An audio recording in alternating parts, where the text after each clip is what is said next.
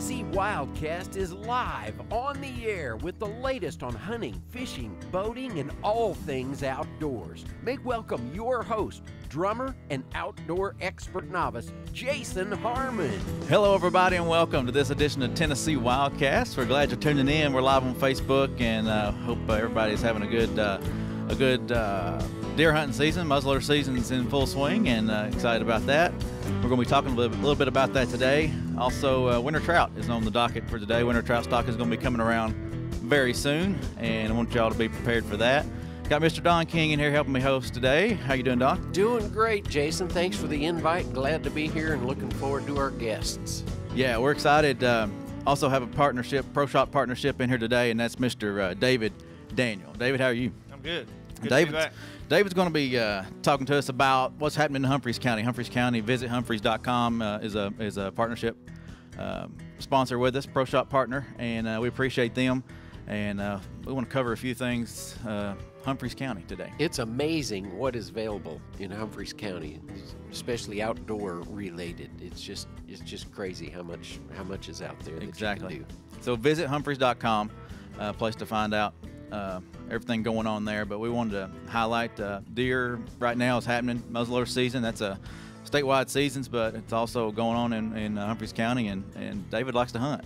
I do. I've already uh, been in the woods quite a bit already this year. Yeah. So uh, have you seen them rutting and running and moving out, out there this year? Yeah, I, you know, I think the rut's running a little bit late this year. They're they're not just fired up, and I expected that. Now this coming weekend, I think it'll it'll make the turn, and we'll start seeing a lot more rut activity. But um, and that's just the area that I've hunted in the county. But I'm hearing that at my store um, Mhm. from from other hunters that they don't think they're quite there yet. Yeah. First stop outdoors, right? That's it. Um, so anyway, muzzleloader season is under underway, going through the 16th of November, and then you got gun season opening up on the 17th of November, running through the 6th of January, and that'll close out the season, except for that special unit L hunt that happens for for doe only private lands hunt. So um, anyway, and then uh, waterfowl. Um, I don't do a whole lot of waterfowl hunting, and that's coming up uh, uh, after Thanksgiving. There's a two days there after Thanksgiving, over, uh, November the 24th, 25th, and then it'll come into full swing on uh, December 1st and run through the 27th for duck. Uh, for duck. So anyway, what's how's the duck hunting in Humphreys County? It's good. I you know I've told you before. Humphreys County is the land of three rivers. We've got the Tennessee River, the Duck River, and the Buffalo River, all come together in Humphreys County, and that's what makes, in my opinion, Humphreys County the greatest county in the country, much less the state of Tennessee. Yeah. But uh, the, the so we have the National Wildlife Refuge there that holds a lot of ducks, and that you know that creates helps that flyway. And uh, I'm already seeing a lot of mallards and pintails Wow. uh, this year. So uh, I'm excited about duck season. It might sure. be good to get out there and hunt with him some, Well, dog. we might Yeah. can make that happen. We're, we're involved in a couple pretty good duck uh, duck spots. So yeah, Cool. we can we can make that happen. That would I'm be sure. fun. That would be fun. And then your your expertise, I think, is in fishing, or at least you have that, that little tour that you do and and tournament series there. But uh, you said the crappie bite is on right now. Crappie bite has picked up. You know, I kind of gauge that. Um, I, I don't do a lot of crappie fishing this time of year myself, but I sell a lot of minnows at my store at First Stop Outdoors, and minnow sales are up right now this time Uh-huh. of year. So the the I, I don't think the numbers are. Uh, Really, really high, but the quality is really good. I'm talking to guys that are going out and catching 12 and 24 good size crappie. So Awesome. um, uh, that's definitely picking up. And you know, the tournament season is over for bass fishing Mhm. uh, as a as a general rule. So, uh, uh, and wintertime bass fishing on Kentucky Lake and, and, and the other two rivers is great. Uh-huh. Um, so, you know, folks can get out there and almost have it to themselves this time of year, which is one of my favorite times of year to be on the big lake, uh, Yeah. Kentucky Lake and the river. Uh, is this is the wintertime? It's going to be cold, but the state record was caught uh, in Yeah. February, I think it was. So It's Yeah. the big ones are the big ones are caught December, January, and February for sure. March, the the winter months. yeah. So be committed to get out there that time. yeah. And and let's see, there's a big event happening over at the um, Loretta Lynn's Ranch. Uh, it's called the Yamaha Extreme Terrain Challenge. Can you tell us a little bit about that? yeah, of course, there's always something going on at Loretta Lynn's Ranch there. It's exit 143 off of I-40. You know, that's that's where you get off to come right into the heart of Humphreys County. Highway 13 takes you right in, and and off of 13 is Loretta Lynn's Ranch, and they have a lot going on. And their most recent event coming up is this Extreme Terrain Challenge. Uh, the 16th and 18th, or 16th through 18th of November. Right. And uh, it's for Yamaha owners um, that have a couple different models, and the information can be found at the ExtremeTerrainChallenge.com. So, Mm-hmm. um, and I, I, it's kind of unique. I think it's an unmarked trail or event, and um, the they're they're guided by GPS. So it's it's kind of unique that way. Some challenge. That's it. what I was thinking. It'd be it might be a challenge to find your way through the course if you can only go by GPS to get there. Right. Right. So anyway, that's pretty cool. Uh, and it's and it's limited to certain uh, certain vehicles. Only Yeah, Yamaha YXZs and, and Wolverines. Yeah, and I, and I believe they're coming from all over the country. Um, you know, they've already had several register for that, so uh, spectators and participants as well. Um, and there's plenty of lodging there at the, the 143 exit, and then uh, in in town uh, in Waverly at the the hotel there. So you know, there's plenty of plenty of things to do for everybody. Cool. All right. Well, hey, if uh, you want to be a part of this and uh, check that out, you can go to their website at uh, Extreme or it's XTR EAM Terrain Challenge. So uh, probably get there th- by visithumphreys.com. But Yes. the Extreme Terrain Challenge spelled with an X there at the beginning. So anyway, check that out. Uh, if you want to be a part of that, and there's a lot going on at, at, at Loretta Lynn's Ranch all the time, especially with the, this kind of stuff. And Yeah. then Humphreys County's got Come to Humphreys County. That's going what, on all the time. We, so. We'd love to have folks come visit us in Humphreys County. Yeah.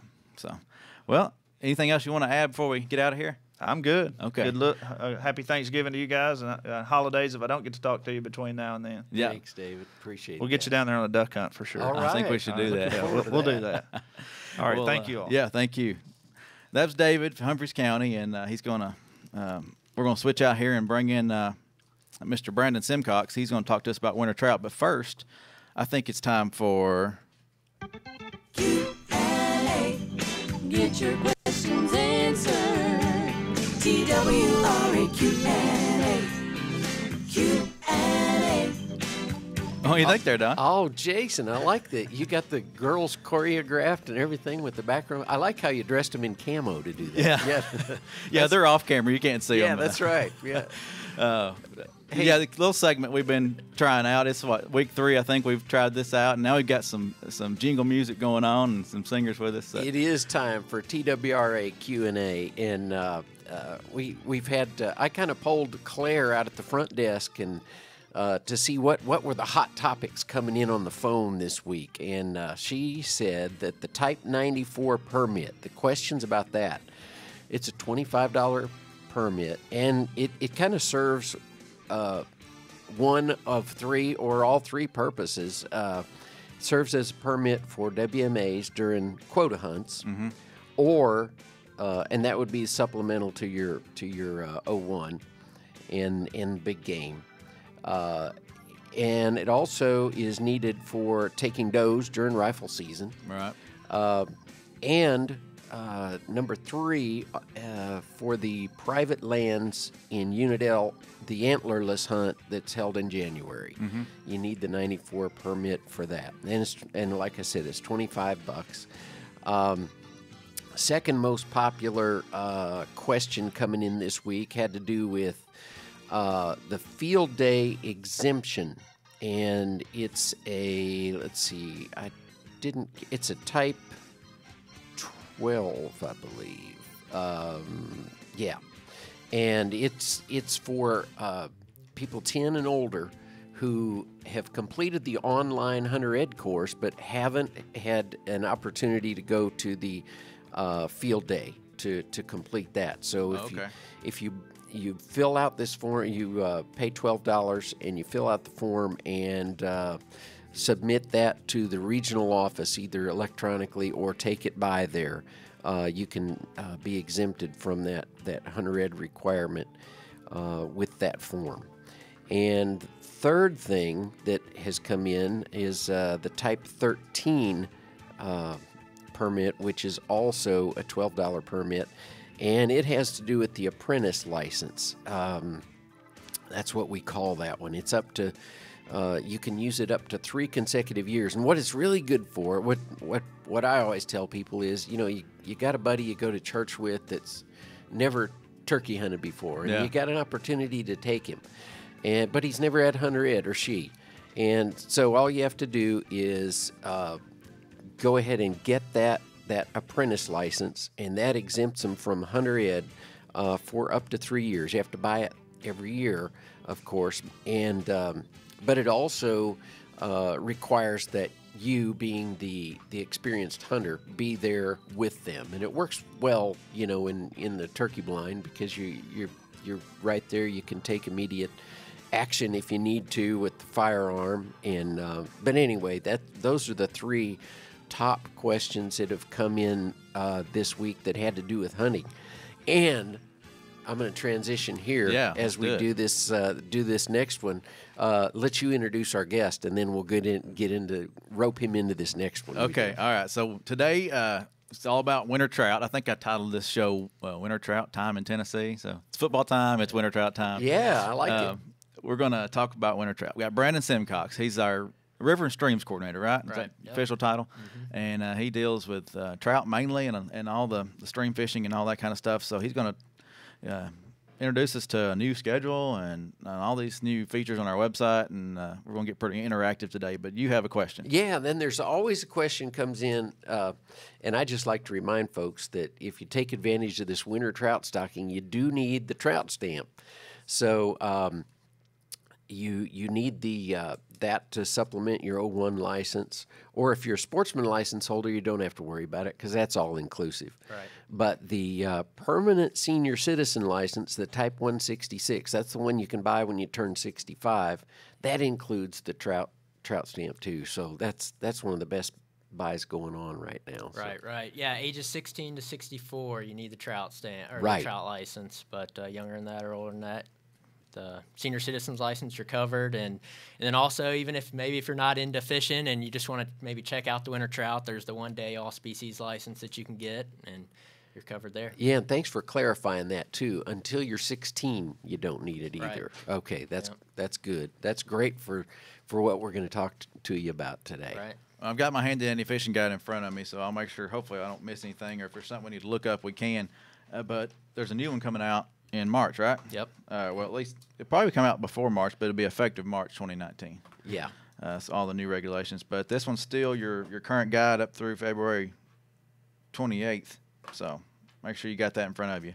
Um, I pulled up the website, and we're going to show some stuff there today. But just uh, give us a quick overview what what you're doing up there in the fisheries division. Yeah, well, uh, so this time of year, like y'all said, it's it's winter trout season for us. The uh, kind of tailwater stocking and all that we've been doing is slowing down, and uh, we're moving into this winter trout program. And so the winter trout program is was really designed to provide uh, trout fishing opportunities in areas that had limited or no trout fishing. Um, uh, within that local area. Um, and so that's when it was originally started back in the late 90s and has really expanded uh, all across the state. So. So that's where a lot of our time and resources are going right now, getting prepared for that, because it's a lot of fish that we that we do put out across the state. Yeah, and the hatcheries are are uh, I guess pretty busy with this. Oh, yeah. Uh, Yeah. These these fish that you'll be catching during the winter trout uh, stocking program, are they uh, national hatcheries? So they, state they, hatcheries. they come from both. They Okay. come from some come from Dale Hollow National Fish Hatchery, which we just celebrated that Yeah. partnership with TVA and all that. It's been a Um, couple weeks of trout. Yeah. Um, and then also from uh, Flintville uh, Fish Hatchery here in Region 2. And then uh, we did add a new stocking location this year, and some of those fish will be coming from Buffalo Springs Hatchery in East Tennessee. So- Okay, awesome, awesome. Well, let's uh, let's dive into the website and let's tell people how to get there. If- Especially if you're listening on the radio and you're driving down the road, you uh, can't do this live or in the car. Don't be texting and driving. Don't be searching the, the trout stockings on, in the car. But um, you can uh, click on uh, tnwildlife.org. That's the main way to get there, and then you uh, got the fishing tab up here. And winter trout stocking is one, two, three, four down. So that's going to get you straight to the schedule. That's straight to the schedule. But I like to click the more info button, and then uh, oh, there, there you are on the fishing page. You and Mr. Henegar, the uh, assistant chief, and uh, I'd like to hit trout stocking, streams, and reports right in the middle, right at the top of that page, and and that gives us the the trout fishing in Tennessee page. Mm-hmm. So um, and there's a little video that you can watch uh, that uh, Mr. Um, Barry Cross put together last year, I guess, at some point Yep. And uh, kind of get an idea of what winter trout's like. Uh, but right here is the schedule on this page. Can kind of navigate us or give us some ideas of what they're going to find right here. Yeah, so the certainly the trout fishing page has evolved quite a bit here uh, recently, and really that's you know with TWRA, it's it's you know our goal to provide uh, you know easy access and make sure that the anglers know you know the opportunities that are out there. Um, and so uh, on the page now, you know you can find all the schedules on the one page. You can find information about the trout species that we have in Tennessee, um, maps of all the stocking locations. Uh, one thing that came about, I was getting a lot of calls about when did we la- uh, last stock locations. And so now I update our trout stocking report every Friday. So as information comes in from the hatchery, that's updated. So if you want to see when the uh, you know Tumbling Creek in Humphreys County was last stock, you can uh, you can pull that up and see you know the date that it that those fish went in. Right And here on the so- website. Yep. so it's all right there. Um, I said it's just an op- you know it's our goal to provide you know as much information to the anglers out there. And myself as an angler, I, you know it, it benefits me too. So. Yeah, it's it's great to have somebody like you in there that, that loves to fish Mm-hmm. and also, but also is the expert behind it all, and, and you kind of know what's needed on both ends, and Right. that helps. We try to provide the best best customer service we can for these folks, and I was just looking. If you're looking online, if you're watching, uh, there's the wherever you can enter your region or your destination or your stocking dates and kind of find find the reports for the areas you're concerned about. Right. Yep. So, and that's pretty cool. sometimes those can change a little bit depending on weather and, and I don't know water water quality and that kind of thing. So right, sometimes right. Uh, you know, with the winter trout program, we uh, we announce the day of stocking, but some of Uh-huh. ours. Uh, that we, we, you know, we're not able to do that with working with Dale Hollow National Fish Hatchery. You know, things change with- them, and so they need specific, uh, you know, need to go out certain days, and so things may change for them. And so that's a great opportunity if you want to pull up uh, some of the locations that they might stock that we don't have announced, or that there might have been potential changes, or because we have some leeway in those stocking. You know, you can you can find that exact day and and know The- when. Uh, The good thing is when you find a local spot where the stocking is taking place, you know that's not going to be the only time they do it the Right. throughout the year. Right. You know, so that so it's good to go back to your to your local spot. You know, Mm-hmm. I I know right here in Nashville at Shelby Park, you know, that's been a very popular Very spot. popular. Yeah, we went out there actually this past year and talked to anglers and see how it was going, and they did. They were doing very well. Yeah, very it's- well. You usually have a welcoming committee when the truck pulls up there, Yeah, we don't do. you? Seems Yeah. like it was a little rainy last year too on that. It was. I mean, I'm sure you stock it multiple Yeah. times maybe, but the one I went out there and we did a little Facebook live. It was misting and raining, and but it's, Uh-huh. it's still yeah. fun. We had a really cold winter last year too, and I mean there was people out there trying to break ice to be able to get their get their lines in. Shelby Shelby Park was froze over. It was froze over all across the state. Oh, and, man. Uh, yeah, it was. So there's a few challenges you might run into Yeah. when you're when you're winter trout fishing. Yeah. So well, let's let's pull up the schedule uh, and get and check out this new. It's gonna be color coded. Look at that, man! Alive. Man. Oh wow, That looks good. Somebody's been doing some work on that. that is that's impressive. All right, let me see if I can zoom it in and we can get a little little closer look here. Yeah, so in the past, the schedule was just kind of listed by date. Um, there was no real rhyme or reason to uh, the locations, and so it, it even for me as an angler uh, and coming back to Tennessee, you know, Uh-huh. moving back three years ago, it was a little difficult to find some of the locations, you know, directly around me. It just got kind of convoluted. So this year we tried to kind of organize that to where you can look by region, then it's organized by date. Um, so if you know you're in West in Region One in West Tennessee or uh, on the plateau in Region Three, you can just go straight to that by month, and you'll see all the ones listed specifically for your area. Wow, that's awesome. Very printable too. I noticed the, the PDF document. You can just shoot that to your printer and Mm-hmm. keep it in your car or truck. And Yep. So uh, I like the color coding. It makes it easier to read. Uh, and, Yeah. you know, find your region or area, find the divisions between the different days and, and locations. And so it looks like our winter trout stocking is going to fire up on the 27th. Is that, that what I'm Twenty reading? seventh. Yep. Yep. Statewide. 27th 27th. of, of November. So Mhm. Yeah. So we just talked about a Shelby Bottom. So folks, yeah, definitely in the Nashville area, be ready. there it is. They'll be there. I know that. That's for sure. yeah, Um, but an, another thing that we added to the schedule, though, um, if you don't know where Shelby Bottoms is or any of the other ones on there, you can actually go on and now just click the name, and the map has to think a little bit to get back into it, but uh, it'll uh, zoom you right into the location, and you actually see over there um, the black, the the the fish symbol is uh, where we stock it. And so you can click on that. You can get Google directions from your location and all that, and it'll take you uh, That's right impressive. That's So- really impressive. a lot of thanks to the GIS folks downstairs, Right, Tracy yeah. and Lynn, and all of them Mm-hmm. down there. They do a great job, and uh, give us stuff like this for the for Mm-hmm. the sportsmen and fishermen of Tennessee. It's uh, that's handy right there. Yeah, like I said, it's it's a big help, and, and it was a big help for me too. Saying re trying to you know learn the area, a new area for me, or you know it's good for folks that you know just you know are just trying to get into it, trying Yeah. to figure it out. So let's do that again. Let's back up. I'm gonna back up to the uh, to the to the PDF and zoom in on, uh, uh, and let's see if we can pick one maybe that's a different uh, different area. So that was that was region two. Let's go.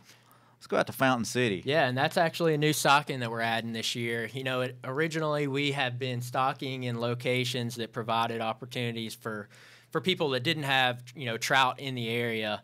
But that kind of mindset is evolving a little bit, and we're trying to provide opportunities to folks that would maybe a little intimidated to go out and try to you know you have to have waders you feel like you got to go out into the big tailwaters which can certainly you know be a little intimidating so um, you know these these opportunities in the winter trout program are you know usually located within the city have really good bank access you know you can sit on the bank Yeah. um, so it's you know a really easy opportunity for you so we're we're trying to expand that now and we're, providing an opportunity in in Knoxville I um, love the year. descriptions on the map too. You click on that the little fish symbol Mm-hmm. that, that Jason's describing here, and then it, it gives you the the you know what what's available there and, and what you'll need and that kind of thing. Yeah, you got So- your lat long and your and your Google directions and trout regs. You can click and see the regs and uh, all right there. Parking and all that kind of stuff. Mm-hmm. It's all all the information you need to know about that area and and your and your regs are right there. Right. Yep. And so for the winter trout, the the regulations for trout, it's a seven fish bag limit uh, with no size limit. Uh-huh. So yep. So you can go out and you you harvest your seven fish for the day and come back the next and do it again. Can you remind them again what permits are needed for that? Yeah, so if ages 16 to 64, you'll need the, the trout license, uh, supplemental to your uh, regular fishing license, hunting and fishing license. Um, but if you have the sportsman's license, lifetime sportsman's license, you're covered. Um, you can get the one day permit, uh, all species permit, or uh, the senior, senior citizen's license covers that too. So over the age of 64, you don't need the, the trout license. Cool. And th- go ahead, Don. I was just thinking we were talking earlier uh, today. I think I don't think we did this on the air, so to speak, but uh, we were talking about the size of the fish that are that are going to be stocked this year. Tell us Mm-hmm. A little bit about that. Yeah, you know, so you know, we'll have the traditional fish, you know, usually around the eight to ten inch uh, Uh-huh. rainbow trout that we do stock, um, and then we also stock our bonus fish, you know, and some of those fish can can range up to five, six pounds. I mean, they the hatcheries grow some big fish for that, and uh, it's always exciting to talk to anglers out on the on the ponds that or the streams too that we stock in the winter trout program that uh, they catch those because they are enormous. Yeah. they are very big. And then last year we did have the opportunity to stock the albino trout actually out there. Unfortunately, we didn't. We weren't able to get our hands on any albinos this year, so we won't uh, won't be stocking many of those um, this year like we did last year. But uh yeah, there there will definitely be opportunities to catch some some real monsters. Now, are the the bonus fish you were talking about are those brood stock that are being kind of Um, recycled? Or? No, so the you know we'll get our fish and the the hatcheries will actually hold them over for Oh, okay. for a, an, another year and put uh, put additional growth on them. I got so, you. So that's where the majority of those fish are coming. We do get brood fish uh, from you know some of the national fish hatcheries that are that do the the actual trout spawning, Uh-huh. um, but the majority of our hatcheries uh, are we if we we get fish from Dale Hollow and grow them out and stock them, or we get eggs from from directly from the National Fish Hatchery, and then we we grow them from egg. Uh-huh. So yeah, we're not doing you know physically doing the spawning at ours, but Right. So let's give away a secret. Uh, you're a fisherman, but you're also a biologist. You have to tell us this. What kind of uh, bait? what kind of bait do these guys going to need to catch these winter trout? you know, it can really vary. And as I'm learning, I mean, it's kind of funny. So going back, I actually used to fish the winter trout program long before I knew I was going to be a biologist. I in high school, I'd go to a pond in Germantown, Tennessee, Sure. and, and fish it. You know, before I even knew what a fisheries biologist was. Um, and so in ponds, I, I'm st- I'm learning that kind of I like to do the still fishing there. So, you know, a lot of people use corn or power bait or, uh, you know, trout or salmon eggs, Uh huh. things like that. But uh, really, inline spinners work also. And when I fished some of the trout streams that we stock in the wintertime, so like the Percy Priest Tailwater is part of the winter trout program, and McCutcheon Creek um, and Spring Hill. Uh, I like to use inline spinners or like small trout jigs, like the trout magnet, things like that. So it's a little bit more um, active fishing in there. But uh, like I said on the ponds, I like to kind of still fish and relax and sit on the bank, and and it, and the, the fish will come in waves. It seems like Uh, they'll you'll be it'll be real hot and then it'll kind of slow down for a while and it's almost like those fish are just kind of working their way around the pond and here they come again and it just picks up real quick and uh, Yeah.